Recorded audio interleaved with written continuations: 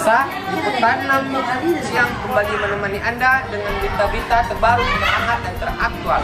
Bersama saya, Bukan Mahmudi. Terjadinya penculikan siswi di SD Negeri 1 Tanjung Duren, Jakarta Barat. Pihak sekolah berkoordinasi dengan pihak kepolisian untuk mengawasi aktivitas siswa-siswi yang ada di sekolah.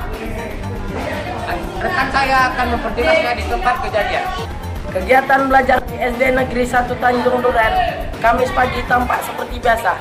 Meski demikian, kekhawatiran dirasakan pada orang tua setelah salah satu siswi di SD ini mengaku nyaris menjadi korban penculikan pada saat pulang sekolah.